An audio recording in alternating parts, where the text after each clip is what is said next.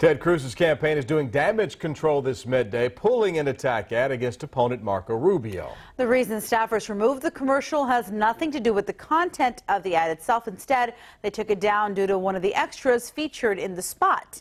KVUE's Tina Shively is at our watch desk. Tina, lots of reaction on social media with this one. That's right, Yvonne. Good morning to you. Yeah, one of the actresses featured in that commercial has a resume that included some adult film work, so that didn't sit very well with Cruz's evangelical supporters. So there was a lot of reaction on social media, including one from the actress herself. She tweeted, extremely disappointed the Ted Cruz campaign pulled the national television spot I had a role in.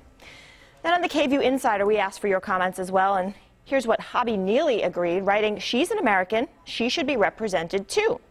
Bob Pepe wrote, Ted Cruz shouldn't have pulled the ad. The actress did nothing illegal, and she should not be, and should she not be allowed to work anymore? Another point.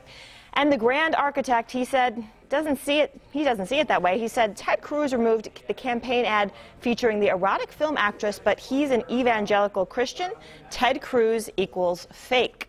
Now, the Cruz campaign does acknowledge pulling the ad. In a statement, they said the actress responded to an open casting call and she was not vetted by the casting company. If she was, they would never have included her in the ad in the first place.